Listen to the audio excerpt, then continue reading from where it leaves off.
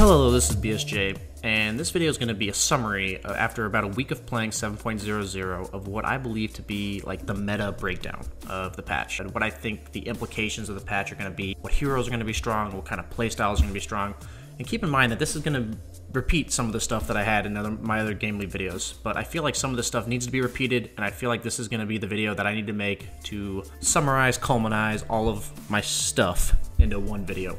So the first thing I want to talk about is the patch. And I'm not going to look at like the specifics of the patch. I've already talked about, you know, reviewed a little of the patch notes and everything like that. What I want to look at is like the perspective of the patch, like conceptually. And this is this is a groundbreaking patch, uh, especially for me.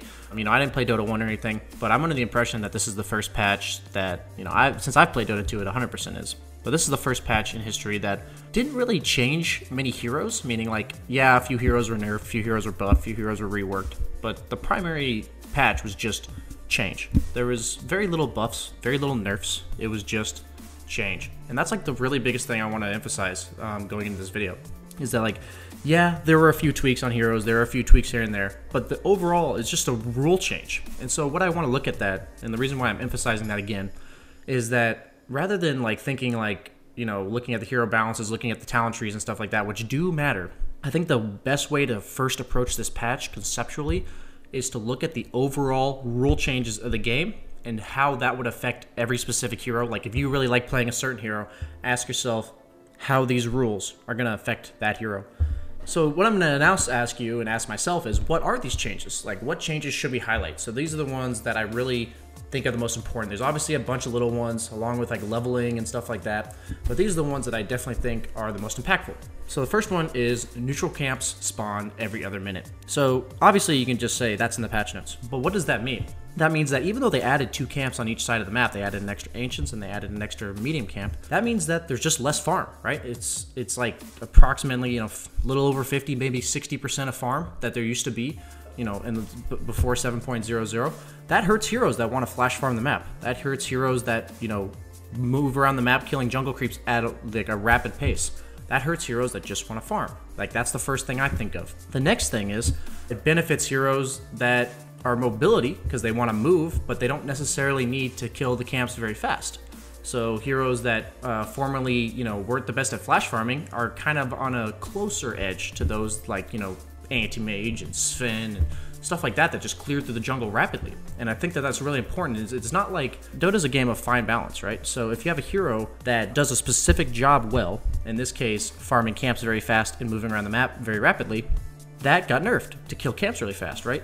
And heroes that don't rely on that mechanic got innately buffed. So those are the kind of things I'm going to look at in all these changes. So that's the first one, neutral camps. Think about the heroes that benefit from that and the heroes that don't lose out from it. So that's a big change. Like the heroes that didn't lose out technically got buffed. So the next change I want to look at is bounty runes, right? So when I look at bounty runes, is they basically supplemented a lot of the missing farm on the map for bounty runes.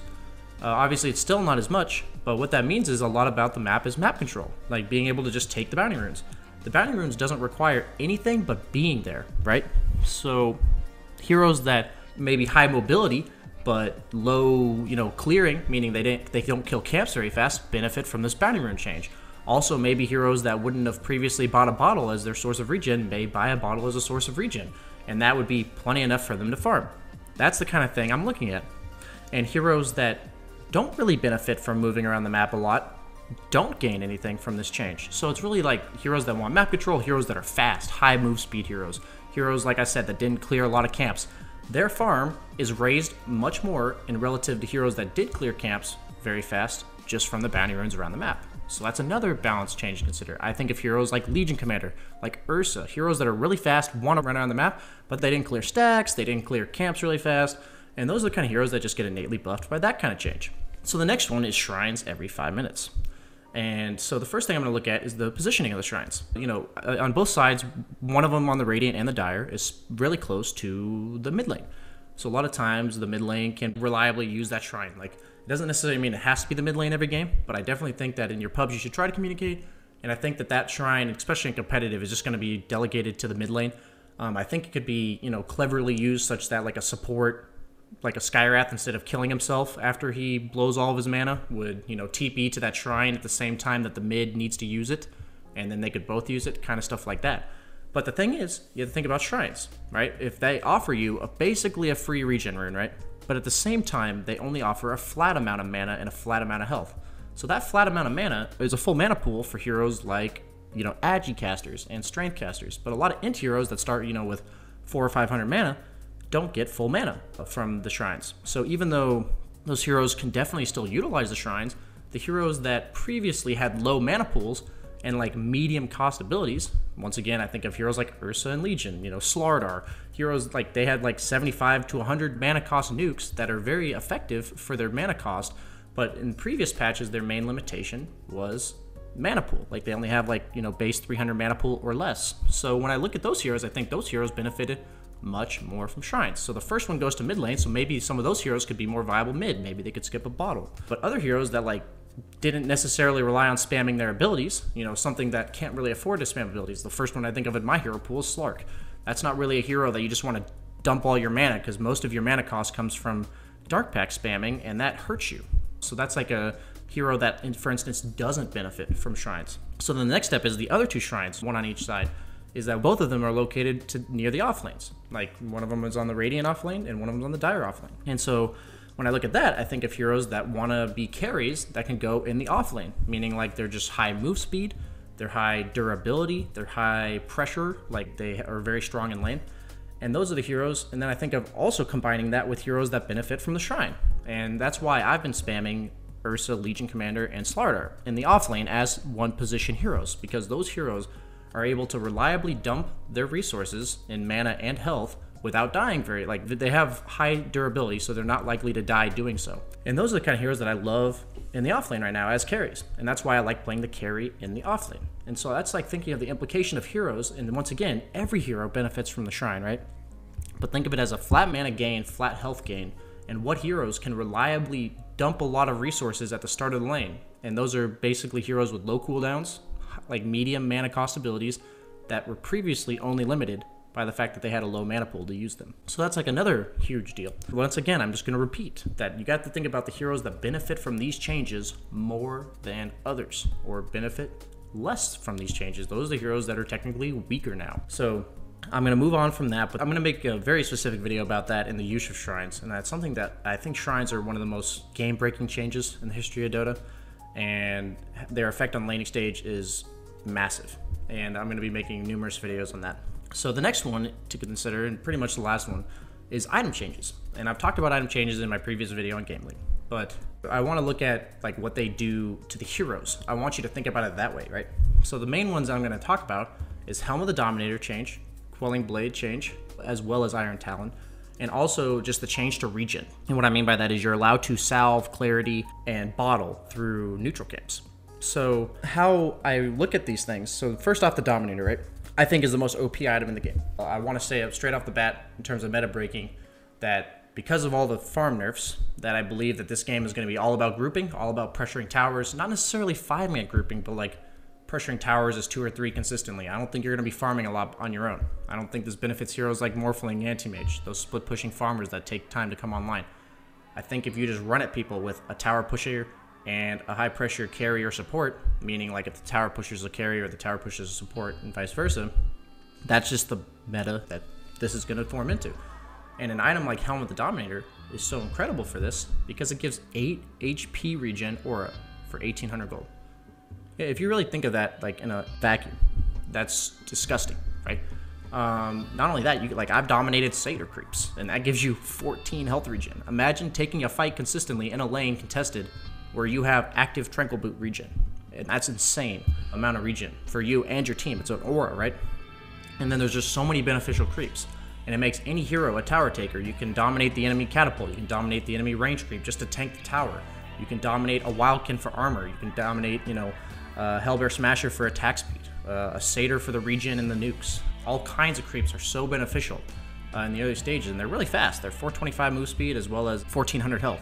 I do believe this item will get nerfed, but it's also considerable to think that this item was such a big deal because in the past, your creeps would kind of get poked down, right? If somebody just took time to hit them as they were running across the map, they would die slowly. But if you have that creep around you, it gets the HP regen. So over time, it just doesn't die. And it's so powerful to having a creep that early in the game. And it also gives you stats, right? It's 6 all stats, so it's technically 26 attack speed, 6 damage, and sustain. Sustain for days is like really the main focus that I look at the item for. And so when people think like, isn't that mean it's a support item if it helps the team around you? And my answer is no. I think the item's so important that if you're a carry that wants to buy it, or nobody else is going to get it early enough, buy a damn Helm of the Dominator. It's kind of like a drums where you kind of want one, but in this patch, Helm of the Dominator is so good that you kind of need one. I think you need one on every team composition, no matter what. And so if you have somebody else that can buy it, yeah, pass it up on the carry and let them buy it. But if you think you're like fine buying it, and I think there's a lot of carries that it's a core item on, such as Luna, such as Ursa, I think you should just buy it every single game, unless it gets nerfed. But it's just an item that I think, once again, who benefits from this item, who can buy it, and that's a big change to the game. I know that sounds like such a, you know, it's just one item, but an item like that, you saw drums, you know, three patches ago where everybody picked it up, how game breaking a single item can be. So the next one, and one of the biggest nerfs and changes in the game, was Quelling Blade and Iron Talon. So they basically made it a flat amount of damage bonus instead of a percentage. And they also made it such that, you know, the Iron Talon cooldown is much more significant. So the biggest thing is what heroes relied on buying a Quelling Blade and which ones didn't. I really think this one could be gone into more depth, but I think it should be just left simply at that. Heroes that previously really needed a Quelling Blade, meaning like they had high stats and they had illusions or whatever that benefited from their Quelling Blade, now, what heroes like, I, for instance, I don't think Ursa needs a Quelling Blade very much. I don't think Legion, who gets a lot of plus damage and builds stuff like Armlet and Phase Boots and gets dual damage, doesn't really need a Quelling Blade. And heroes that rely on nukes to farm just get innately buffed by that. And heroes that bought a Quelling Blade and keep it in their inventory until 30 40 minutes are innately nerfed. So it's just like one of those things where I really want you guys to look at these changes and instead of looking at specific heroes with their talent trees, yes, that's relevant, but I want you to look more at what these specific changes do to every hero and the ones you have of interest. So the purpose of that first section of the video was to talk about my reasoning, right? I want you guys to understand why I'm going to tell you what heroes I believe are super strong in this patch. And I want you to understand that it's more than just like hypotheses. Uh, it's more than just you know an educated guess. I may be wrong about a few of these heroes, granted, because there's so many factors that go into this game. But after looking at everything I just said, um, I'm going to give you my interpretation of the heroes I play in the core role. I'm going to give brief information about other roles, but I'm going to primarily focus on the carry role. So when it comes to carry role, and you may be like, BSJ, these aren't carries, or not all of these are carries. And I'm going to answer to you is really think about what the carry role is, right? The carry role is meant to be farm prioritized in the side lanes, usually with supports, and their job is to scale into the late game of some sort. And that's obviously a very rudimentary description of carry, but you have to think of it as look how many changes are in this patch.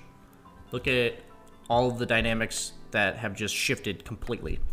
And now ask yourself, you know, should I probably stop thinking of the game the way I've thought about it for the last, you know, however many years you've played the game, because the game is just so different now. So when I look at my carries, the first ones, I'm, I'm just going to go through, you know, from strength, agi to int, of I, what I believe are the strongest carries in the game. So the first one that I think benefited the most from this patch is Legion Commander.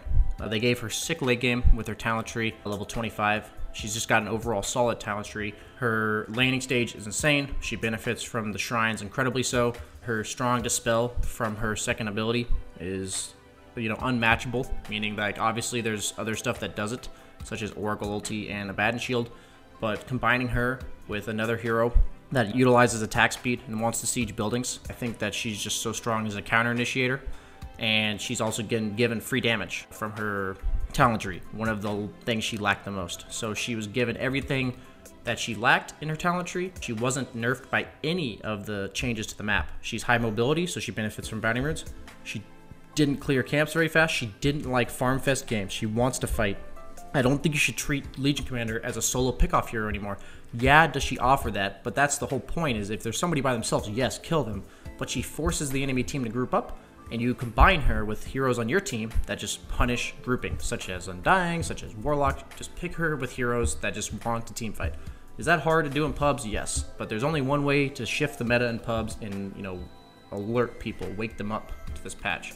And I understand that this is going to be a little bit difficult to begin for everybody, you know, trying to play the carry role. but I figure somebody has to start, right? So Legion Commander, I think, is just incredibly strong. She benefits from everything in the patch and didn't get nerfed at all. So the next hero would be Slardar. Benefits heavily from the Shrine, high mobility around the map once again, didn't clear camps, benefits from the bounty runes, loves fighting. Just absolutely loves fighting. And that's like all there is to it. He has a decent talent tree, and like all these heroes rely on a little bit of a decent laning stage. They do that laning stage well, and then you just run around killing people. And that's what I exactly think that the carry role is going to turn into in most games. So I just think Slardar's high mobility, Rosh potential for almost any team, even though they buffed Rosh's armor, as well as the fact that he can build so many different items that makes him effective, such as Helm of the Dominator if his team needs one, such as just like Tread's Armored Blink for the damage, such as like rushing a Blink in case your team needs initiation. There's just so many routes that Slardar can go to be effective, especially in a patch like this. The next hero I still believe is strong is Lifestealer. You know, he's more of a traditional carry, but it's because he, you know, he wants to get his items up. He has a strong laning stage, and once he gets, you know, phase armlet, you just run around the map killing people, uh, along with heroes that he can infest, such as a Slardar if it's a Slardar or, you know, any other hero that just goes in. And I think that even though Lifestealer is more of a traditional carry, like I said, he is more of just an all-out brawler, and that's what the hero wants. He generally was weaker against illusion heroes as well as high armor split pushers, and those heroes got nerfed. So when a hero like when a hero's counters got weaker, that hero innately gets stronger. So I think that he's much more situational because I believe that a hero like Legion Commander hard counters him for many reasons. One, because she has a BKB piercing disable, as well as the fact that two, in laning stage, she can purge his open wounds, his only kill potential. So there's definitely heroes you have to worry about uh, as Life Stealer, but you know, as like he's a really solid third, fourth, fifth pick uh, in the patch because as long as he has a lane, I believe he'll be super strong. Uh, the next hero I look at is Vengeful Spirit. You may be like, BSJ, you know, Vengeful Spirit carry EleGiggle.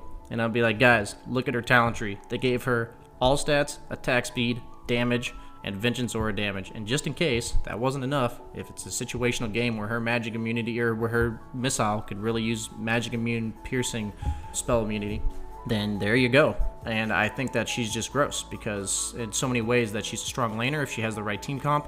She gives her team a ton of damage. She loves just grouping, taking towers, taking objectives and all she wants to do is fight, fight, fight. And I just love that. She's a perfect Helm of the Dominator carrier. I firmly believe Vengeful Spirit will make her way into the meta as a carry hero. I just think all of her talent tree is incredible.